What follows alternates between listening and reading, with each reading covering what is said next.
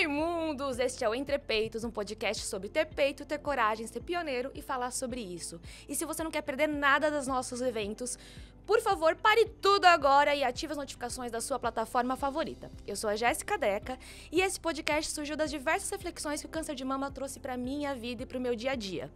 Mas não é só sobre câncer de mama não, e a gente tem muita coisa legal para falar. E eu vou dar uma dica do bem para você. Hoje a nossa dica do bem é para você parar tudo agora. O Robinho já colocou o QR Code na, na, na nossa tela e você vai parar e doar para ONG Novos Caminhos. A ONG Novos Caminhos é uma indicação do nosso convidado de hoje e ela ajuda a dar luz à causa dos idosos em situação de vulnerabilidade no estado do Pernambuco. E quem deu essa dica pra gente? Quem é o convidado de hoje? O convidado de hoje é o Nelson Lins, CEO da First Doctor, presidente da Selfit, academia low cost que tá aí bombando.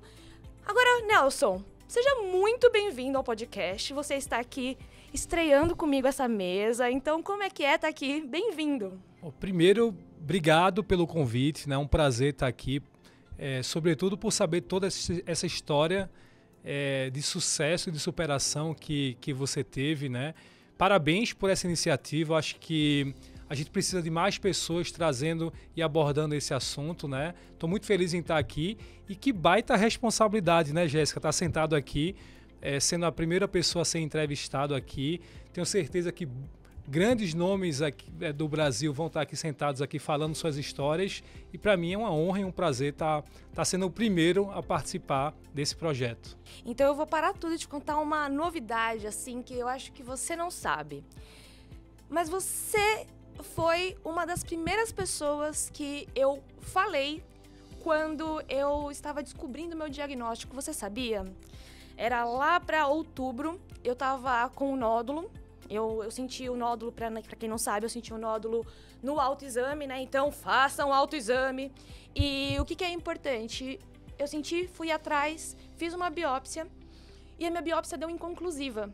E quando deu inconclusiva, já me deu aquele tá, tá, tá, tá, tá, tá, tá, tá que foi, bom, eu tenho certeza que então já tem alguma coisa, existe uma possibilidade de ser alguma coisa. Era uma sexta-feira, seis e meia da noite, quando eu abri esse resultado do exame, era seis e quarenta e cinco, o Renato me ligou. Eu tinha acabado de ler o diagnóstico que eu estava inconclusivo. Então, eu ia viajar para a convenção de CNA e ABF. O diagnóstico, eu viajava na segunda-feira, duas da tarde. O diagnóstico deu inconclusivo sexta-feira, 6h45. E eu falei, nada, por nada neste mundo que eu vou viajar, ficar 15 dias na Bahia, sem saber se eu estou com câncer ou não. Imagina a minha mente. Daí eu. Hoje meu irmão tá no estúdio, eu rapidamente liguei para Gustavo para falar: Estou com na mão. É natural, né? Você começa a falar: Meu Deus do céu. Vocês me ligaram, vamos entrar na reunião. Eu falei, cara, o que, que eu falo? Eu falo não. Isso 10 minutos antes, tá? 10 minutos antes. Daí eu falei, eu entro nessa reunião, não entro nessa reunião. Liguei pro.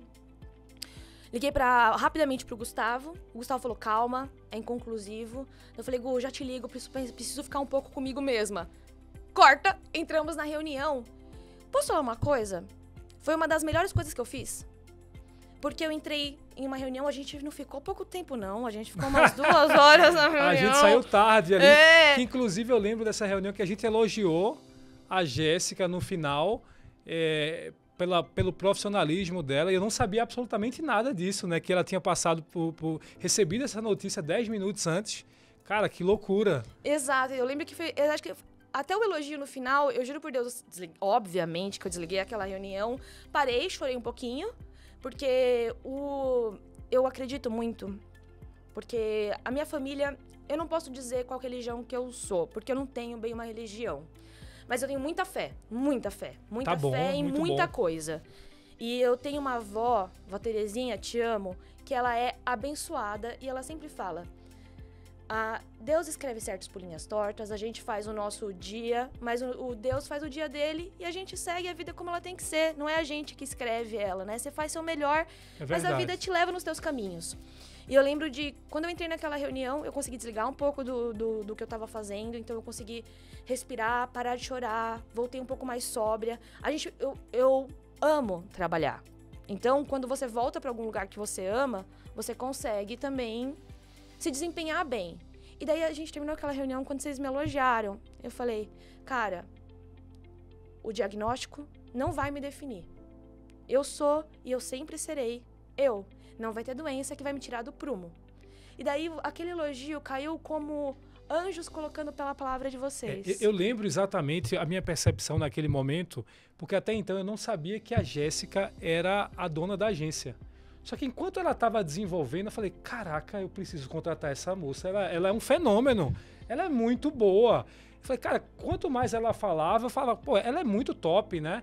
E aí no final eu, eu tô curioso para saber eu, o que, que ela faz dentro da, da agência aí, porque ela falava com tanta energia, com tanto amor pelo que estava fazendo, com tanto profissionalismo, que aí eu fui cutucar ali para saber, né? E aí ela falou: É, eu sou é, é, uma das donas, uma das sócias da agência.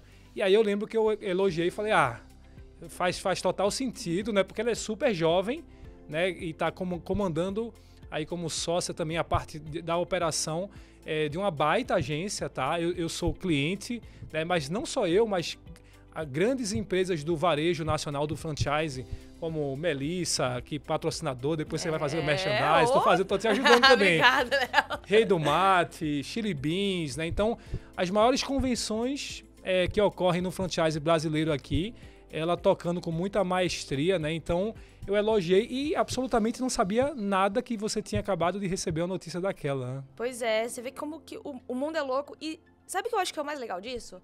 é a prova de que a gente não sabe o que está acontecendo com o outro nunca. Então, às vezes, a gente é tão fácil a gente julgar como o outro reage, como o outro se porta, mas eh, cada um tá passando pela sua batalha, pela sua luta. Você também estava tendo um filho na época da convenção, né? Sim. né? Vale lembrar, certo? Isso, isso. Me conte um pouquinho mais da sua família. É, perfeito, né? Um pouquinho diferente, né? Porque aí é um momento de... Muita alegria. De muita alegria, de expectativa positiva, né? Que foi um, um filho é, que a gente estava aguardando, né? Então, é mais fácil conduzir uma situação dessa, né? Então... Mais uma vez, não sabia dessa história, tá? Parabéns, né? Ai, vou, vou reforçar o meu elogio agora, né? Não é à toa que você está no, no, na posição que você está, né? E, e Sento aqui agora admirando, admirando mais ainda, ainda a tua história, tá? É, o Benjamin tá super bem, né? Já né, completou, acabou de completar nove meses agora. Tá, tá, tá gigante, tá grandão lá. E tô louco para voltar para Porto Alegre aí para poder abraçar e dar um beijo nele. Ai, que delícia. E assim, a, a gente. A única certeza que a gente tem, acho que quando o diagnóstico vem, eu acho que a gente acaba tendo que é, repensar muito as coisas. E podia ter sido outra coisa, né? O, de novo, vou falar do meu irmãozinho querido. O Gu sofreu um acidente uma época da vida e ele também passou por uma fase de parar, ter que rever a vida, reposicionar, ficar um tempo em hospital. É claro que são outras proporções, mas gestão de crise é gestão de crise. Eu entendo que a forma que você lida com qualquer crise, ela tem a sua similaridade. Então eu entendo que as adversidades, elas te dão é, know-how para você lidar também com alguns problemas. Então eu tentei lidar com o câncer como se for de uma forma mais pragmática, assim, sabe? Então eu, eu gosto de brincar e na verdade até o podcast ele tem um pouco deste intuito de abrir caixinha e fechar caixinha. Então, é, ao longo de todos os episódios, a gente vai falar um pouquinho de algumas caixinhas. Então, pô, a caixinha de oncologia, que é uma questão, pô, como falar do câncer? O câncer é uma doença, hoje, quem não conhece pelo menos uma pessoa próxima com câncer. Virou uma doença super comum. Só que a gente ainda tem muito tabu quando fala isso. E um dos tabus que a gente fala é muito. Eu ouvi muito o vai descansar. E daí eu falava, cara, quem tem que dizer a hora de descansar ainda sou eu. O diagnóstico não me define e ele não. O quanto ele domina a minha vida é uma decisão minha. Então, assim, quando eu falava. Eu tive essa conversa, eu acho que foi uma das coisas mais legais, pensando em corporação, porque essa foi uma conversa que eu tive com a empresa. Tipo, olha, é, sócios, eu estou bem, mas eu, eu peço que vocês não me tirem da linha de frente. Porque se eu estiver vulnerável, se eu não estiver bem, eu vou avisá-los e daí eu peço que respeitem. Mas no final das contas, eu não quero perder um dos principais pilares da minha vida, que é o meu trabalho. E eu também tive que é, virar para os meus funcionários, né? O, as pessoas que eu lidero, Bárbara, inclusive, que está aqui, é uma delas, e falar: meninas, eu vou precisar que vocês, mais do que nunca, se empoderem, é, sejam fortes, porque antes eu tinha certeza que eu estaria com vocês no que vocês precisassem. Olha que legal, né? Ela passando por uma, uma baita é, dificuldade, desafio na vida, ela ainda está é, empoderando e for, dando força para a equipe dela no momento que ela que estava precisando de força ali, né? Mas a gente, a gente acha força em todos os lugares, né? E eu acho que essa é a maior. É saber você ver as forças onde elas estão. E eu vi força para todos os lados. Eu vi do lado, eu vi para cima, eu vi para baixo. E as meninas, elas. Eu tenho um time de mulheres, né? Que eu lidero. A maioria jovem. Hoje a gente, nós somos é, diretamente liderados por mim, são seis mulheres. É, cinco delas são abaixo dos 30. Na verdade, cinco delas são abaixo dos 25. E a gente tem que dar voz, né, para quem quando o que eu, qual que era a oportunidade que eu queria. É essa oportunidade que eu tenho que dar. Como eu gostaria de ter um líder? É esse o líder que eu tenho que ser. E eu gosto muito de liderar pelo exemplo. Então, eu não, você não vai me ver, você sabe disso, encostada ou é, para trás das cortinas. Você vai me ver ali fazendo. Então, eu sou o tipo de pessoa que, pô, eu vi um papel no chão, eu vou pegar o papel no chão e jogar no lixo. Porque é, é isso que eu espero de quem está do meu lado, quem anda comigo. Essa qualidade nos detalhes e essa, essa agilidade, essa rapidez, essa, presti essa presteza, né? E as meninas, elas tiveram que assumir os seus papéis de líder, né? E hoje, né, eu tenho uma equipe que me dá um apoio, que me dá muita força e você tem duas equipes para lidar. Eu lido com um time pequeno e já acho que é um puta responsa. Como é você, como CEO de duas empresas, eu já fiquei, já fico às vezes, meu Deus, quantas caixinhas que eu tenho que abrir? É a caixinha de ser sócia, é a caixinha de ser líder, é a caixinha de ser mulher, de ser irmã, de, de ser esportista. Agora, você, além de tudo, faz isso em duas empresas. Me conta como que é gerir tudo isso. Com toda certeza do mundo, não se compara a gerir o que você conseguiu gerir, é, os desafios que você passou com toda a fase é, de receber uma notícia é, que estava com câncer, conseguir superar isso, conseguir é, é, lidar e continuar trabalhando, continuar inspirando as pessoas. Eu, eu particularmente, é, em alguns momentos, esquecia absolutamente que você estava com isso. Tanto que eu fui descobrir, depois de muito tempo, e, e é, quando eu descobri, eu acho que eu te liguei, falei alguma coisa, alguma, mas é, uns, uns, meses depois, em algumas reuniões, reuniões duras, inclusive, entre a gente em relação Sim. à precificação, enfim, uhum. do, coisas do dia a dia. Ô, oh, Glória! E, e, e que, e, e que é, em vários momentos eu absolutamente nem, nem lembrava mais que ela eu só lembrava que você estava com algum problema quando via a tua imagem na câmera ali que você estava careca naquele momento. Graças a Deus o cabelo já está tá, tá, crescendo aí, né? É, e aí naquele momento é, tava careca, né? E eu falei, cara, eu lembrei, ela, ela tá com câncer, tá passando. Porque em momento algum você se deixou abalar e, e, e para o mercado, para as pessoas, para os relacionamentos, você continu, continuou sendo a Jéssica forte, inspiradora, líder, né, que todo mundo sempre eh, admira, a tua equipe aí também. A gente, como parceiro comercial, também admira, tá? Então, é, eu não tenho dúvida alguma, tá? Antes de responder a tua pergunta, que, que Deus tem, tem projetos e propósitos na vida de algumas pessoas é, para inspirar, para levar mensagem para para outras pessoas que precisam, né? E esse projeto lindo que você está fazendo entre peitos, com S, tá, né, pessoal? Para não esquecer, entre peitos aí, é, é, o início, né? E, e, vai impactar muita gente, tá? E eu acho que você é uma pessoa escolhida, não é à toa que você passou por tudo isso.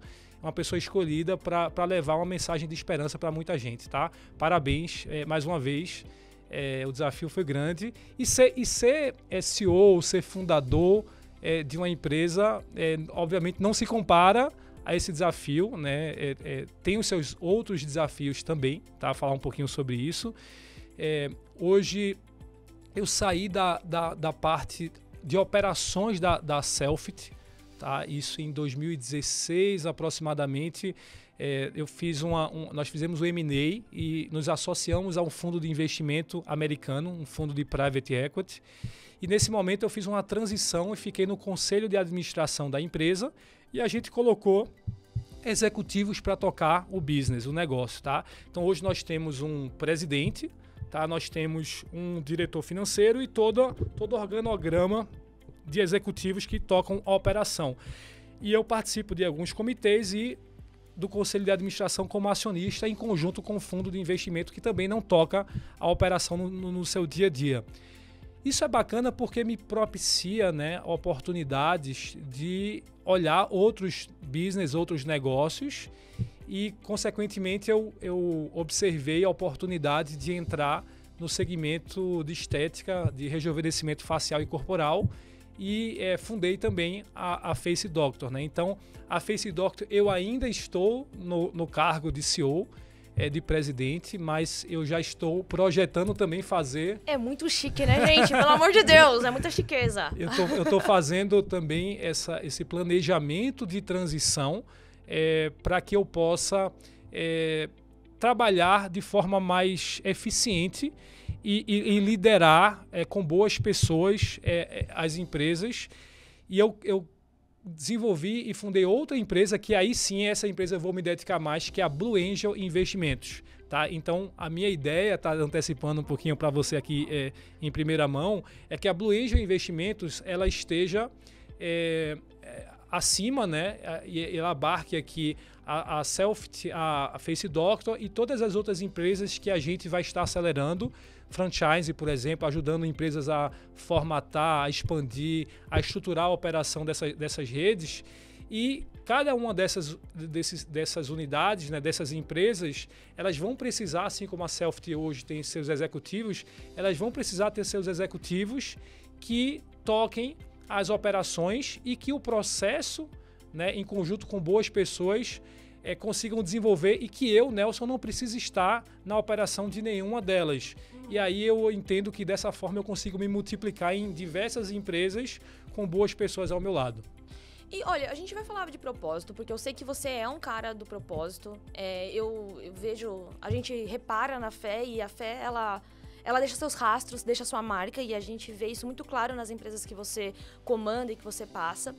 E, bom, sem dúvida, falar agora que você é um puta de um businessman, né? Então eu acho muito interessante, porque tem gente que vem para criar e tem gente que vem para multiplicar. Sem dúvida, você é um grande multiplicador, né, Nelson? Isso é muito interessante de ver. É, qual que é a sua... Você, da onde veio? Você sempre foi um businessman? Qual que é a sua formação? Tá, eu não sou formado, tá? Eu estudei administração de empresa. Sempre soube, gente. Isso aí é uma, uma furada, gente. Acho que eu, venho, eu, eu, acho que eu venho, eu venho, eu venho de outro mundo. É, eu estudei administração de empresas. Nessa época eu trabalhava no banco, no Bradesco. E eu cresci muito rápido no banco e virei gerente lá. E eu, era, era muito é, dinâmico o trabalho do banco. Né? E logo em seguida eu montei minha primeira academia na época. E eu cheguei até o penúltimo é, estágio ali do, do da, da, de me formar em administração de empresa. É, foi bacana, aprendi a, a, diversos pontos ali, mas eu acredito muito que o hands-on, né, o aprendizado, é, o Brasil real, como, como a gente gosta de brincar in, internamente, né, é, esse aprendizado é, é, muito valioso, né, não que uma formação é, não, não seja. Claro, claro, claro. É, eu acho que assim, a prática, sem dúvida, leva à perfeição, né? A gente, gente até tem ai, um monte de memes sobre isso, mas é, as pessoas elas esquecem que o sucesso ele vem de diversos fracassos, diversas batidas, diversas, diversas coisas que não deram certo, né? Então é muito fácil às vezes as pessoas tirarem uma foto da onde a gente está sem esquecer tudo que nos fez chegar até ali, né? Então, sem dúvida, o aprendizado no dia a dia, ele faz uma diferença enorme na, na nossa estrutura, né? Na nossa realidade. Se você não pratica, se você não tenta, você dificilmente vai conseguir alguma coisa, né? Maravilha. Eu, eu acredito muito nisso, Jéssica. E eu acho que a disciplina, né, a constância, a resiliência, ela, ela vence o talento. E eu nunca fui um cara talentoso, mas eu fui um cara obstinado. Já diria CR7, por sinal. Cristiano Ronaldo, grande, sempre disse eu, eu, eu, fui um cara é, muito obstinado e, e disciplinado a, a, a, vencer. Mas quando você pergunta, é, hoje você é um businessman, é um cara multiplicador, é, o que é que você fez ou o que, é que você faz para isso? Né? Eu, eu sempre pedi é, a Deus, há muitos anos atrás, para me capacitar, porque eu achava que os meus sonhos eram eram muito grandes, né? Eram, eram audaciosos e eu não estava preparado para é, conseguir chegar onde eu gostaria. E eu tinha plena consciência que é, sozinho eu não ia conseguir chegar lá, eu não era capaz de fazer aquilo. E eu lembro diversas vezes é, de joelho pedindo a Deus para me capacitar, me dar sabedoria. E impressionantemente que ao longo dos anos as coisas começaram a ficar mais claras para mim cada vez mais, a experiência vindo, a sabedoria vindo em determinado momento, e aí as empresas começaram a, a se multiplicar através de. Acho que Deus foi abrindo as portas, trazendo boas pessoas para trabalhar é, comigo, né? Acho que tem, tem uma frase muito bacana que é: a gente não constrói uma empresa, a gente constrói um time e o time constrói essa empresa, né? Então eu é, sempre tive uma qualidade muito bacana em conseguir descobrir talentos é, de pessoas que tinham os skills que eu não tinha e trazer para o propósito de um novo projeto.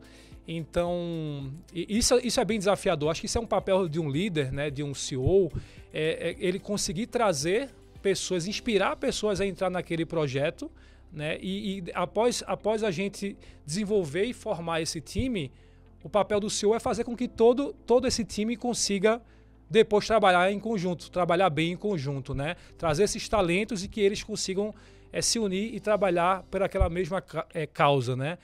E isso é muito importante, né? Que eu acho que isso é o pilar na construção de uma, de uma empresa no início, é, que está atrelado à cultura da empresa. Onde vocês querem chegar? Qual o propósito dessa marca? Tem algo muito além do que só ganhar dinheiro, né? Então, as marcas que, que eu terminei fundando, elas, elas têm um propósito de transformar a vida das pessoas, né? Quando quando a gente pega a, a né, que na, na verdade não iniciou como Selft, ela iniciou é, com um projeto inicialmente para transformar a minha vida e da minha família, que essa foi o, o, o motivo falar um, um, uma, uma, breve história de como eu entrei nesse, nesse mercado fitness, né? Eu, e aí você vai entender um pouquinho sobre propósito e sobre cultura, que está muito mais atrelado a algo muito maior do que simplesmente por grana. E grana, consequentemente, depois você vai, você vai conquistar. É, eu, quando você trabalha por amor, né, por, por um propósito maior, é, eu estava é, no, no banco naquela época ali, já estava como gerente mas a minha família, quando, quando eu tinha aproximadamente 17 anos, houve, meus pais se separaram e a gente é, é, tinha um centro de unidade familiar muito forte é, até então. Então, eu e as minhas irmãs, é, eu, eu, tenho três irmãs mulheres, tá? eu sou filho único homem, então é, imagino o desafio a vida inteira uhum. lidando com mulher, mas isso me ajudou muito a, a lidar com mulheres. Hoje, hoje, a maior parte do meu time são mulheres tá? Eu, eu, eu, eu, me dou muito bem com mulheres, eu, eu confio muito no trabalho delas, eu prefiro trabalhar com mulheres, não sei se é a vida inteira Sim, sabendo, morando sabendo na mesma lidar, casa com mulheres. Bem, né? E lá atrás a, a, gente tinha essa, esse centro de unidade familiar muito forte. Eu, minhas irmãs, meu pai, minha mãe tinha muito carinho, muito amor, muito acompanhamento dos meus pais. Minha mãe sempre muito disciplinadora é, dentista, né? Depois a gente vai falar que ela faz parte hoje da rede Face Doctor também. Dentista, trabalhando na área de saúde, meu pai é administrador. Eles sempre acompanharam muito a gente. E a gente tinha essa questão desse amor, desse carinho é, com a família. Quando eu tinha aproximadamente 17 anos, houve essa ruptura que meus pais se separaram. Então foi muito duro, um momento muito desafiador e triste para toda a família. E a gente foi morar num, num local muito humilde, porque a gente terminou, meu pai passando por uma, uma, crise financeira muito grande, e a gente saiu de uma casa que aquela casa para a gente era um símbolo da nossa família, do nosso lar, que a gente nasceu praticamente ali, então Natal, Ano Novo, aniversário. Então, tudo, toda a família, toda aquela alegria, felicidade, de amor que estava naquela casa, a gente teve que sair daquela casa, que era uma casa própria, e foi morar num local bem humilde, num, lá em Recife, num bairro bem popular. E é, que era um prédio caixão, não sei se aqui em São Paulo vocês falam prédio caixão. É, não. Sim, não. que é um prédio, um prédio que não tem elevador, né? Ah, Enfim. Tá. E, e, a gente passou muito desafio durante quase 7, 8 anos, um desafio financeiro tremendo. E aí, em dado momento nesse período, ocorreu que a, a nossa casa a gente descobriu, que era, que era o nosso lar ali, que a gente não tinha condições de manter aquela casa, entraram ladrões para depredar a casa inteira e levaram fios, levaram, levaram a casa inteira, só deixaram os tijolos, Jéssica. A casa no tijolo, nas paredes ali. E quando eu consegui tirar a, o empréstimo no Banco do Brasil para conseguir montar, que eu não tinha condição financeira de montar, eu era gerente no banco, para montar uma academia de ginástica, é, e também não tinha pai rico, família rica para poder me ajudar em relação a isso, então eu consegui tirar um empréstimo no banco. É, e com carência para começar a pagar, né, com a taxa subsidiada do governo, a taxa, é, enfim, que é do FAT, de Fundo do Amparo, fundo não para o Trabalhador, né? É, e aí eu consegui tirar esse empréstimo. A primeira coisa que eu pensei quando o dinheiro caiu na conta é: eu vou montar minha primeira academia naquela casa. Que aquela casa estava depredada, porque eu queria que é, aquela casa. Exatamente, e também reestruturar a minha família, recomeçar a minha família, aquele lá uhum. que era o propósito da minha família, que a gente tinha como um símbolo ali da, da, da nossa família, a gente eu começar do zero e a reestruturar a minha família, que estava passando por condição, uma condição financeira difícil e a casa depredada também. Então eu escolhi na, naquele local ali, é, em Casa Amarela, que é um bairro popular também, é, em Recife, a, a primeira Selfit, que na época não era Selfit, era Vitale, em 2009 foi fundada ali em Casa Amarela. Então aquele, aquele lar, que era o local onde eu nasci, onde eu cresci, terminou ficando uma linda academia, né, que a gente montou Tá, até hoje está lá, né? Então, hoje, quando eu, quando eu vou lá em Recife, eu passo lá, eu entro na academia, eu me emociono lá, porque eu vejo que, é, que era a, a, minha casa, né? O uhum. meu lar, né? E, e ali foi o, a, a, o primeiro passo da minha história empreendedora, né? Então, imagina que ao longo dos anos, é, essa primeira unidade em 2009, ela cresceu, é, conseguiu gerar crédito, né? Imagina, né? Esse propósito que tinha muito mais, conseguiu gerar crédito e conseguiu ajudar minha família também a sair do desafio, é, essa primeira unidade, tá? E ela, ela conseguiu gerar crédito para a gente montar mais uma unidade grande em Salvador e, e depois mais quatro novas unidades de 2012 a 2015. Então, de 2009 a 2015, eu já tinha cinco unidades geradas por essa casa, por esse lar. Proprietárias. Proprietárias, nossas, não eram franquias. E aí, em 2015, a gente fez uma fusão, uma, nos associamos a um fundo de investimento americano que de 2015 até agora 2023 é, nós já investimos quase meio bilhão de reais Caraca. em novas unidades próprias e algumas franquias também, tá? É, e no ano passado a gente é, protocolou para entrar no, na CVM, né, para fazer o nosso IPO na Bolsa de Valores é, o banco UBS, o Banco Suíço coordenou e o, e o Bradesco, o BBI também. A empresa é, teve um valuation de 1,1 bilhões de reais. Então imagina aquela casa que estava depredada, uma família que estava ali destruída, né? Que o, os pais se separaram, passando dificuldade, todos, todos os desafios que a gente teve ali atrás. E aquela casa, aquela, aquele processo, aquela pessoa que não tinha capacidade de fazer escalar tudo isso e Deus foi, é, em diversos momentos né, da minha vida, da minha trajetória, fazendo diversos milagres. É. Tá? Vai, que, né? que, inclusive, fazer só um, um merchan aqui. Uhum. Eu tô, eu tô é, é, concluindo um livro é, falando sobre os milagres que Deus fez na minha vida, na minha trajetória empreendedora que provavelmente em dezembro, tá, pessoal? Quem estiver assistindo aí, em dezembro a gente vai estar tá lançando, falando dos milagres que Deus fez na, na Selfit, né? Uhum. Hoje a, as pessoas veem uma grande rede a nível nacional, tá em, em, todo o Brasil. Aí a segunda maior rede nacional em número de, de unidades próprias, né? E, e, a Face Doctor também, como os milagres que Deus fez é, é, na Face Doctor também. Então a gente vai falar um pouquinho sobre essa história, sobre esse livro. Então, respondendo, né? Falei bastante toda essa história inteira. Não, lindo, Quando você pô. falou de, falou de propósito, é, o, a, a Selfit e a Face Doctor é muito mais para a gente do que mais uma empresa, do que business, do que negócio, né? É, tem a ver com propósito, tem a ver com o início de uma família, de uma é, e hoje a Face Doctor é família, né? Se é, a convenção, infelizmente, você não pôde estar participando lá no navio, Sim. no cruzeiro, mas Estava operadíssima, né? Uma semana de operação, um dreno saindo, eu, meu coração partido. Um peito operado e outro partido por não estar com vocês. Porque é muito difícil a gente que acompanha o processo todo não tá lá, Nelson. Nossa, eu ficava com o coração na mão, porque. Você vê o. É, você, você geriu. você desenvolveu tudo É, aquilo. Eu e- não acredito que eu não tô. Mas bom.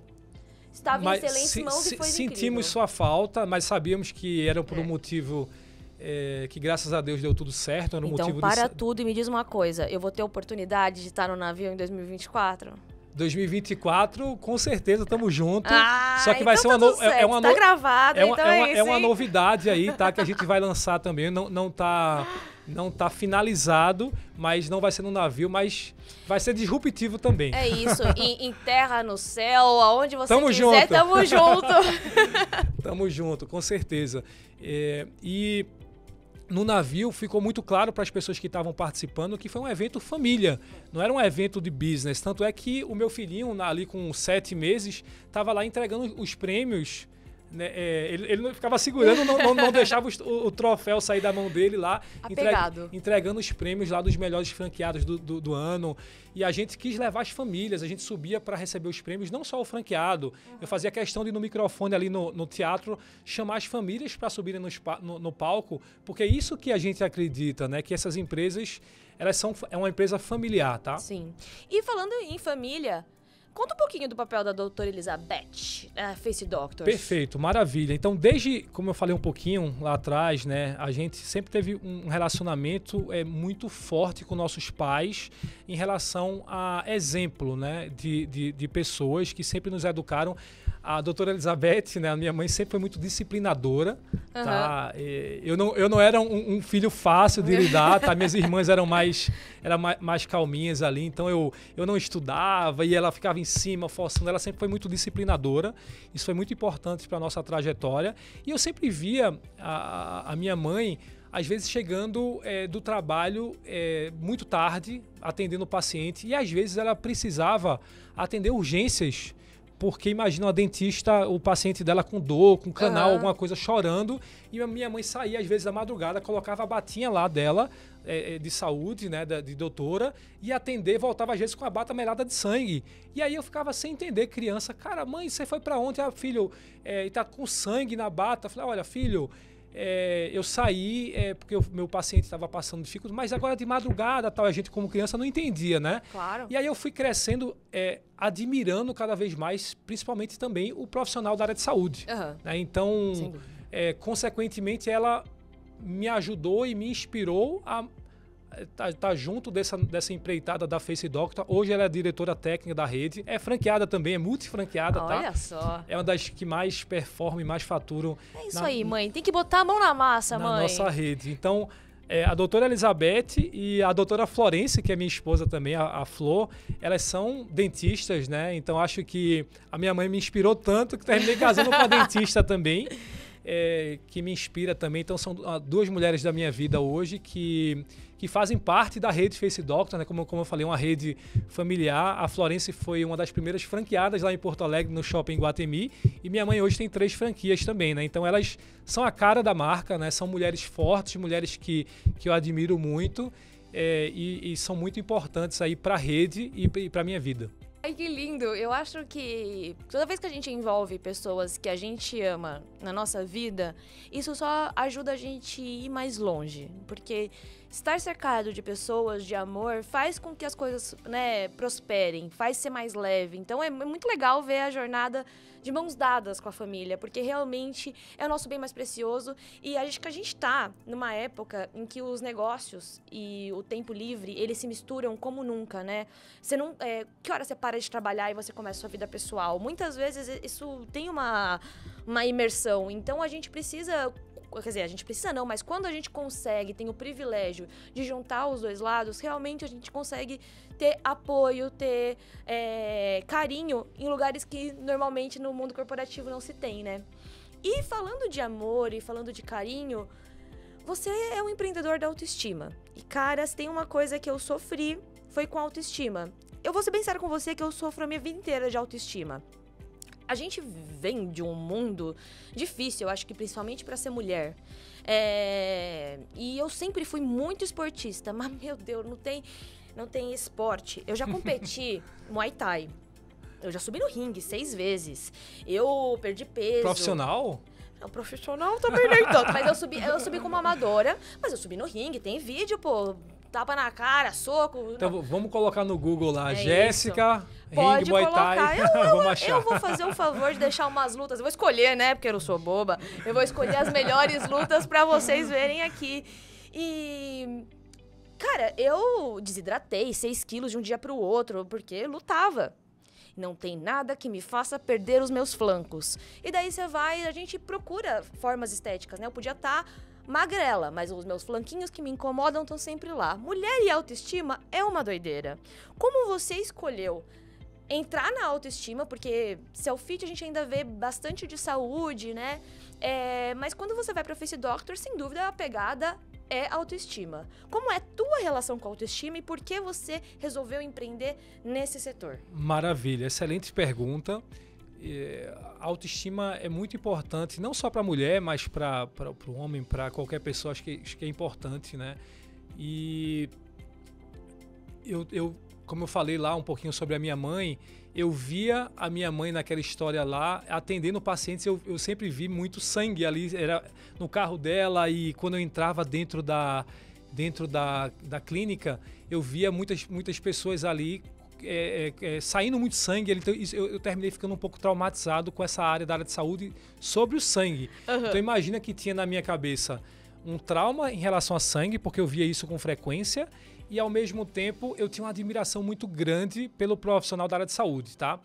É, e aí, posteriormente na minha vida profissional, é, como eu poderia trabalhar ou fazer algo é, que eu sempre admirei, que estava dentro de casa, eu vendo o, minha mãe como inspiradora para mim, né, um, como profissional, e ao mesmo tempo eu tinha esse desafio do sangue. Então, é, por, por sorte ali, a minha mãe parou naquele momento de ser é, profissional, é, é, de, é, uma dentista que fazia esse tipo de procedimento mais é, invasivo uhum. e ela foi para a área de estética. É, teve um boom na, na, na, harmonização facial e minha mãe uhum. foi uma das uhum. prepulsoras na harmonização facial do Brasil. Legal. E aí ficou mais leve para mim entrar nesse, nesse, nesse, nesse mercado. Mas o que, que me chamou muito a atenção nesse mercado foi é, além de ser um mercado extremamente forte, com números é, é, é, é muito atrativos, né? o, o, Brasil é o terceiro maior mercado mundial em relação à parte de estética, né? só ficamos atrás do, do, dos Estados Unidos e da China. Então tem muito potencial, mas além do potencial de mercado, é, eu vi que acontecia na parte de estética, sobretudo em relação à autoestima, algo muito bacana. E eu via vídeos que a minha mãe me enviava que mexia comigo. Falei, cara, tem alguma coisa especial aqui. Que hoje, inclusive, boa parte desses vídeos nós usamos nas integrações para novos franqueados. Que é um vídeo, por exemplo, que minha mãe faz um procedimento no nariz de uma paciente e essa paciente ela tinha um, um nariz com algum problema e que para ela resolver esse problema ela precisaria fazer uma intervenção cirúrgica muito mais agressiva é, é, e que passar por uma anestesia geral, passar um pós-operatório, né? Então, essa paciente terminou nunca avançando em fazer esse tipo de, de cirurgia mais agressiva. Uhum. E aí ela, é, com, com, as técnicas hoje de harmonização facial, com um procedimento minim, minimamente invasivo, ela fez um procedimento de rinomodelação em pouco, em pouco tempo, uhum. né? No mesmo dia ali, ela fez o procedimento e ela quando ela, minha mãe finalizou o procedimento dela, minha mãe filmou, mostrou a foto para ela e aí minha mãe não acreditou ali, né? Foi tão bacana e emocionante que ela começou a chorar porque ela não conseguiu imaginar que ela poderia fazer aquilo ali e ela começou a chorar de felicidade. Minha mãe, posso te filmar? Porque e minha mãe se emocionou também no Claro. vídeo, porque olha, é emocionante eu poder estar proporcionando Claro. isso para uma pessoa, né? E aí ela, mas por, aí minha mãe pergunta no vídeo: "Por que você está chorando?" Ela falou, tá, é porque eu tô- estou sem acreditar.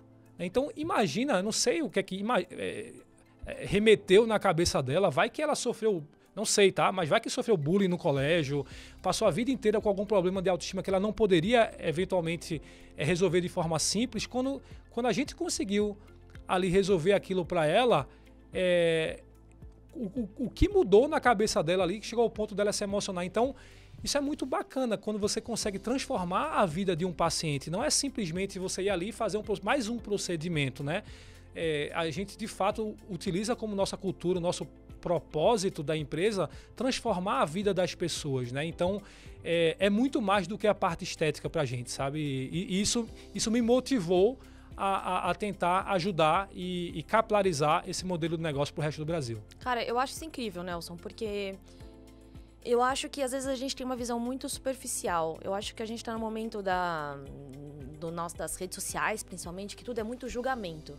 Mas a estética, ela não é para os outros. Muitas vezes a estética é sobre você se olhar no espelho e você tá feliz com a sua imagem. Porque por exemplo, quando né, eu tive essa questão do- da alo- alopécia devido à quimioterapia. E eu tava no navio da Chili Beans e veio um, um menino, a gente tava na festa, tava passando, trabalhando naquela loucura, radinho no ouvido, corre, corre, veio um menino influenciador e falou: Meu Deus, eu amo quem deixa o cabelo assim, você tá lindíssima. E eu, obrigada, fui pro próximo. Eu fiquei pensando, não é escolha, mas o lindo dele não, não me faz me sentir linda. O que me faz me sentir linda é quando eu me vejo linda. Sim. Então, assim, existe. é, eu tive uma dificuldade. Apesar de eu ter mantido a minha careca, porque eu tenho, né? Eu fiz a peruca do meu próprio cabelo. Eu não a uso, porque eu não me adaptei tanto, até Tem que, porque. trazer, tem que trazer pra cá essa Não, peruca mas eu vou, eu vou trazer. Eu tenho. vou- eu- ó, já tô até com essa programação que vai ter um dia aqui que ela vai estar Tá como bom. terceira convidada. Mas é, eu, eu sou muito inquieta, e como eu até comentei com você antes da gravação começar, eu sou meio trope, tropeço nas coisas.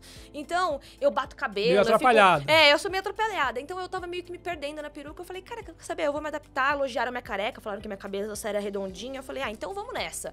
Botei um brincão e fui pro jogo. Muito bom. Mas, querendo ou não, a autoestima, ela vai sobre você se ver bem no espelho. Então, muitas coisas que a gente faz nos tratamentos estéticos não são pelos outros, né? Não é pra cumprir um padrão, mas muito- muitas vezes pra você se enxergar bem. Pra E gente. qual que é o erro de você se querer se enxergar bem, né? Qual que eu acho que às vezes existe um julgamento sobre a estética. Você, ah, por que você está querendo ficar no padrão? Não é sobre o padrão, é sobre o meu padrão, sobre o que eu quero ficar bem. E por que não, se é meu dinheiro, por que eu não posso usar ele na estética também? E perfeito, maravilha. é, acredito muito nisso também, Jéssica. E existe algo muito maior também, que é um ponto que eu vou, eu vou mencionar sobre essa questão da, da autoestima psicológica, que é. Agora falando, eu falei, eu falei uma história da, da Face Doctor, eu falo agora uma história também da, da, da Selfie, tá?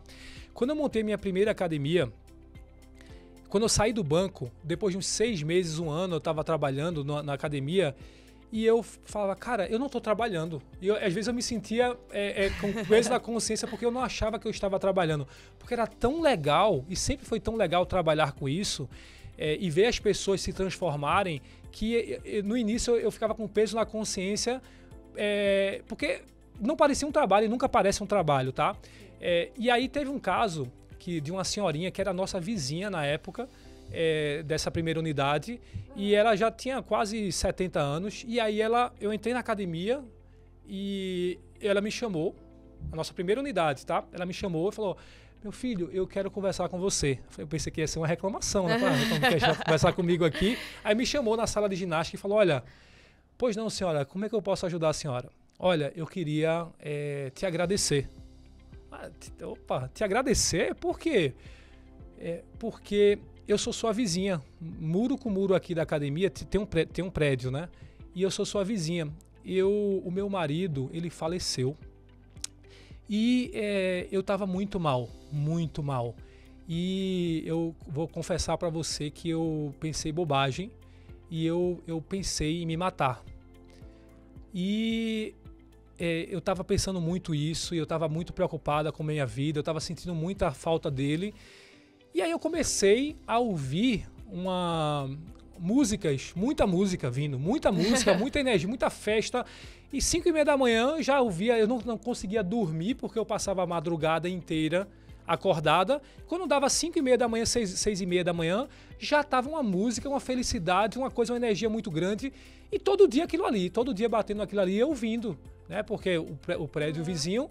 E aí eu fui ver o que, que era que estava acontecendo. Eu via muita gente saindo feliz e rindo, brincando, pulando, aquela energia. É, cara, eu vou entrar um dia aí. Tava muito mal um dia, eu entrei aqui na academia. E é, a pessoa que me atendeu na recepção foi tão acolhedora, me mostrou a academia, me, fez, me chamou para fazer uma aula. Eu não estava nem com roupa. me chamou para fazer uma, uma, uma, aula experimental. Eu fiz uma aula de dança daquela música que eu estava ouvindo. E eu saí tão feliz, tão feliz que eu quis voltar no outro dia. E eu continuei, continuei voltando, continuei voltando. E hoje é, a sua academia faz parte para mim da minha família, porque as amizades que eu fiz aqui, porque aí né, no horário da manhã tem várias senhorinhas que vão fazer aula de pilates, aula de dança, e hoje eu fiz é, uma nova um novo, uma nova rede de relacionamento aqui dentro e eu queria te agradecer porque você montou essa academia aqui. Ai, que lindo, cara. Então, é, ali para mim ficou muito claro, era a primeira academia, né, que eu tinha algo muito especial e muito maior do que eu estava conseguindo enxergar é, e uma responsabilidade muito grande na vida das pessoas. Não é fazer só por a gente, não é fazer mais ali no início, quando eu queria fazer, eu queria ajudar minha família inicialmente, né? Transformar Sim. a vida da minha família, aquele símbolo daquela casa que era aquele lá, mas depois eu descobri algo muito especial, que eu poderia impactar a vida das pessoas também. Então isso virou um projeto é, muito além de Nelson e muito além da, da, da Selfie, tá? É levar transformação de vida para as pessoas em todo o Brasil. Isso é propósito. E quando a gente fala de propósito, Robinho, você vai me ajudar agora, porque o QR Code que eu vou pedir para você colocar na tela é para a vaquinha do Entre Peitos. Porque esse podcast ele tem o propósito de falar sobre vários temas, né? Então é de câncer, é de autoestima, é de lupus, é de empreendedorismo, é de tudo um pouquinho. Mas para esses episódios continuarem chegando até vocês, eu peço que vocês colaborem com a causa. Então, a vaquinha do Entre Peitos está na tela agora e o QR Code é para você doar para que a gente traga mais e mais episódios como esse para vocês. Aproveitando, se você gostou dessa canequinha que é uma para você, é só ir agora no Instagram @ocanecas e pedir a sua. Não posso deixar de agradecer aos meus parceiros e agora eu vou fazer uma menção a um cliente, que é o César, Cezinha ele me ensinou uma frase que eu amo, que é: do meu cliente eu sou cliente. Então eu queria agradecer aos meus clientes, que são meus parceiros, são meus amigos, são meus convidados. Então eu queria agradecer muito a Face Doctor, ao Rei do Mate, a Melissa, a Tilly Beans, que estão embarcando nesse projeto com a gente e ajudando a chegar a informação legal para a galera. Eu acho que a gente está numa era da tecnologia que chega a informação de tudo que é tipo.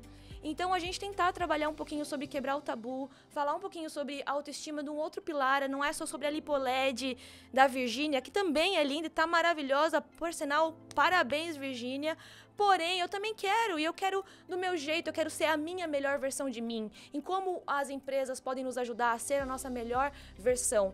É, moda, quando a gente fala em um óculos transado da Chili Beans que entrega moda, quando eu falo de um sapato confortável que nem esse Melissa Urban que eu estou usando hoje, que mescla conforto com moda, é sobre fazer a gente se sentir bem, é sobre fazer a gente chegar em lugares em que sozinho a gente não chega. E tem uma coisa que eu aprendi é, na. Aprendi não, mas reforcei com a criação do Entre Peitos é que eu poderia fazer tudo sozinha, mas é muito mais gostoso e é muito mais gratificante e chega em muito mais gente quando a gente faz juntos. Então, toda vez que eu me uno a pessoas, eu percebo que eu cresci 200% e é andando com gente boa que a gente se torna gente melhor, né? Então, só agradecer. A, a recíproca é verdadeira. É a gente também aprende muito com você, né? E, e conta com a gente também, tá? A Face Doctor Self, Self aqui também tá nos teus projetos, esse projeto lindo aí do, do, Entre Peitos, né? E vai ter muita gente bacana. Fazer o teu merchan aqui também, né? Vai ter muita gente bacana aí. O Rei do Mate, a Melissa, a Chili Beans, vão vir aqui contar a história deles aqui também, né? Então, acho que é o início de um baita projeto, Amém. né? Que, que, que Deus é, colocou a Jéssica aí para capitanear e eu não tenho dúvida alguma que vai impactar muitas vidas. Ai, que bom, é muito bom ter você aqui. A gente começa a então a encerrar o nosso episódio de hoje. Eu queria mais uma vez agradecer. É, eu acho lindo a história, a sua história, a história da, das empresas que você comanda. É, tive o prazer de conviver com algumas das pessoas que também estão aí na sua liderança. Todo mundo, todo mundo com muita luz, com muito propósito.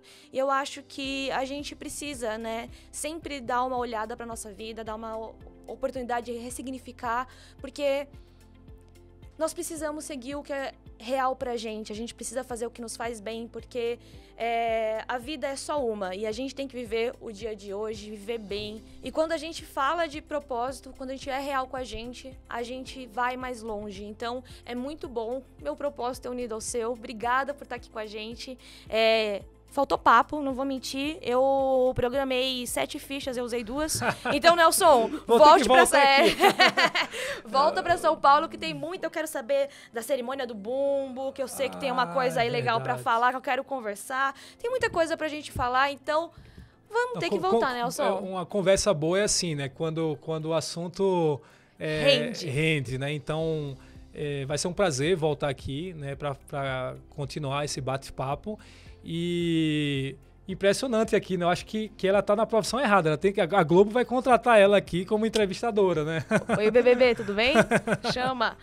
Eu vou aproveitar então pedir para quem tá em casa, curta, comenta, compartilha. Essa é uma causa legal e eu quero que chegue muita gente. Eu espero que você também queira. Então, bora compartilhar e aproveita e siga o arroba Entrepeitos. É isso, pessoal. Um diagnóstico não encerra a sua vida. Por sinal, ele faz te refletir em várias coisas e vai fazer você viver de uma forma diferente. Então, bora quebrar tabu e bora viver a vida como ela é nos próximos episódios com a gente.